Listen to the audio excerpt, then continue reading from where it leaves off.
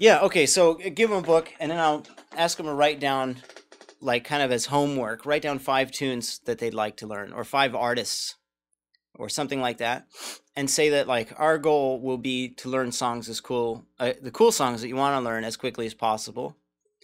Um but there's some kind of some fundamentals we have to get out of the way. Um, but don't like don't worry today we will learn we will learn a song or two um, just to get started with. So when you do talk about the fundamentals, first thing that we got to talk about is the string names. I asked them to play the lowest string. And then and then they kind of look down and they know it's not these two in the middle, right? If they play if they play the one lowest to the ground like this, then obviously I point out, "Oh no, that one's lowest to the ground." But in music, we deal with the realm of the ear, right? Where hearing is all that matters. We're looking for the lowest in pitch yeah, exactly. And so that's why this is the lowest string, you know. Yeah, yeah, yeah. So they got to know which one's the low string. Yeah. And then okay, okay, go ahead and play the low string.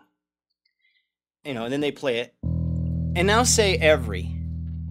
They go every. Okay. And then you write down every. Okay, so every this is going to be our E string. Say every again.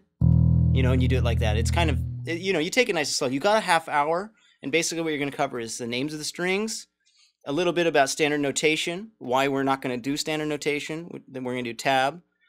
Oh, you know how tab works? You ready for the test? You know, and they think that's humorous generally because they've been playing for 15 minutes and they're not ready for a test, but they are ready for the test. And then you you like, well, let's try learning a song. Okay, and then we learn a song, and I'll I'll, t- I'll t- show you the song, and then it's like, okay, but let's choose these fingers. Do you see why we use these fingers? Okay, cool.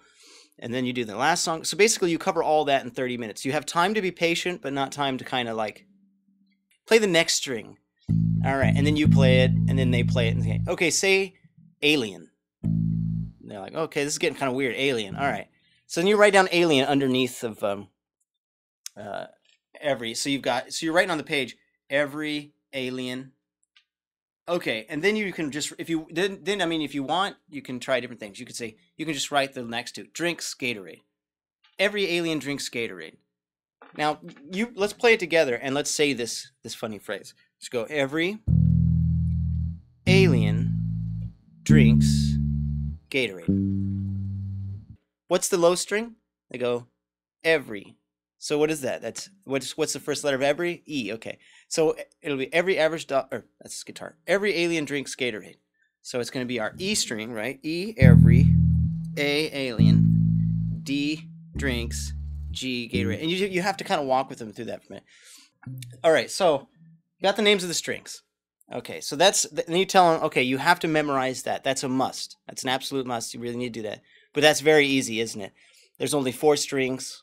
You got to remember every alien drinks Gatorade. Every alien drinks Gatorade. Every alien drinks Gatorade. Every alien drinks Gatorade. Um, you, sometimes I point out how much easier that is than memorizing the times tables depending on their age. You know what I mean? Like the times table is a huge elaborate thing that they memorize. His four strings. Anybody do it? They probably have already done it, and you could do it in the car ride home.